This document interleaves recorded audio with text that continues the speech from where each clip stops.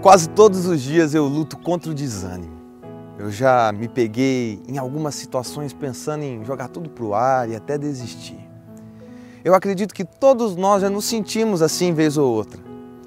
Mas sabe que todas as vezes que eu me vi num momento desses, as promessas que Deus fez para mim sempre saltavam ao meu coração e nunca me deixaram tempo demais nesse desânimo.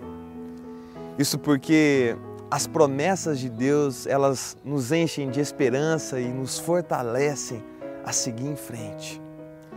Uma promessa de Deus que eu carrego comigo e que me motiva a prosseguir é o que está escrito lá em Josué, no capítulo 1, versículo 9.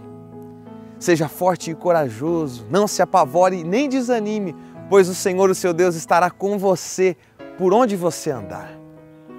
Por onde é que você tem andado? Você tem atravessado por um vale de sofrimento? Será que você se sente como se não tivesse mais forças para viver? Tem pensado em desistir? Lembre-se então dessa promessa. O Senhor, o seu Deus, estará com você por onde você andar. Ele será toda a força que você precisa. Por isso, coragem, tenha bom ânimo.